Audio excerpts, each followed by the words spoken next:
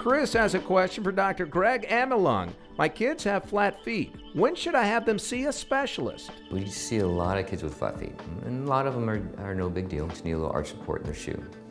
Um, what we tell parents is when their kids start walking, um, they start wearing shoes. If they have flat feet, um, bring them in and we'll just kind of evaluate, see where they're at.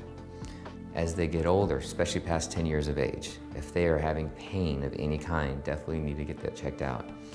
Um, other um, instances that we notice, um, if kids aren't as active as they should be, if they're not keeping up with their brothers and sisters, if they don't want to do sports, if they have a more sedentary lifestyle, they'd rather play video games than if they're clumsy, and the parents are asking, you why aren't they as active as they should be? And if the child's saying his feet hurt, that definitely needs to be checked out. So for kids, it's pain of any kind, or it's they're not as active as they should be. They do not want to be a normal kid. They don't want to run and, and play sports with their friends. And that definitely needs to be checked out. Most of the time, it's, it's very simple things. Um, a little bit of a malalignment of the foot can be treated very conservatively, nine times out of 10.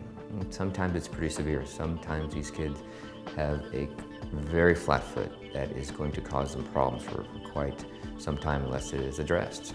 Um, some kids do need a surgical repair of their foot, but again, that's not the norm.